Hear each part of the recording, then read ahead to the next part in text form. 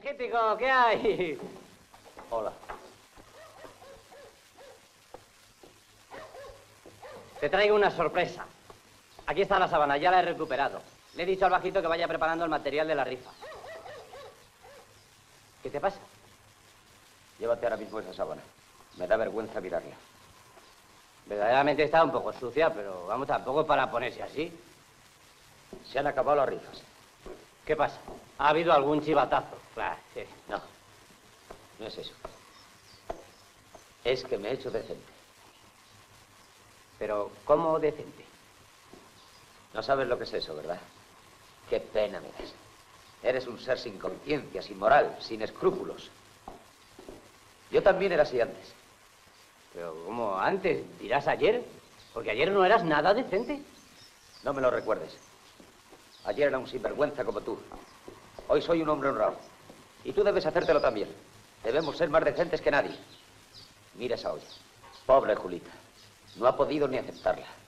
Se avergüenza de nosotros y es natural. Lo que debe de sufrir con lo buena que es. Solo te tiene a ti en la vida. ¿Y tú? ¿Quién eres tú? Tu hermano. No. Tú eres golfo nada más. Humanidad podrida de tramposos que... ¿Vamos a trabajar? ¡Cállate! ¡Sin vergüenza! Pero... Tú tienes la culpa de todo. Que te tengo muy calado. Pero no creas que todo va a seguir como antes, dejándonos arrastrar por ti. Que eres un golfo, sin moral, sin conciencia. Pero si yo... Y lo que es peor, sin escrúpulos.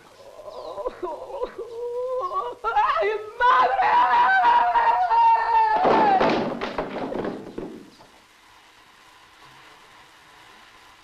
Eh, no tanto, hombre, que luego se pega el yeso a la botella. Te perdone, don Ramón. No acabo de cogerle el punto. No acabo de cogerle el punto, no acabo de cogerle el punto. Enseguidita.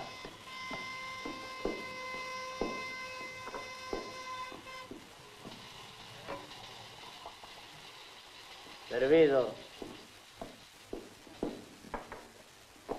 Hola, buenas tardes.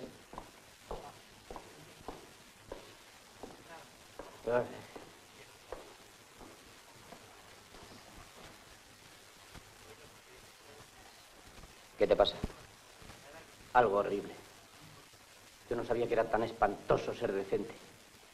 ¿Qué te han hecho? No hacerme nada, que no tenía dinero. ¿Qué me vas a decir? Desde que somos decentes, la miseria. Y ya no he podido aguantar más. ¿Qué has hecho? He vendido el esqueleto, ¿El esqueleto de quién? el mío, esta mañana, en la Facultad de Medicina. Pero, ¿y estás sin esqueleto? No, hombre, no. Si para cuando me muera. ¿Y para qué quieres el dinero cuando te mueras? No, si pagan en el acto. En ese aspecto son muy serios.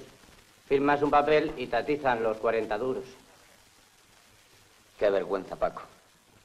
Vender el esqueleto.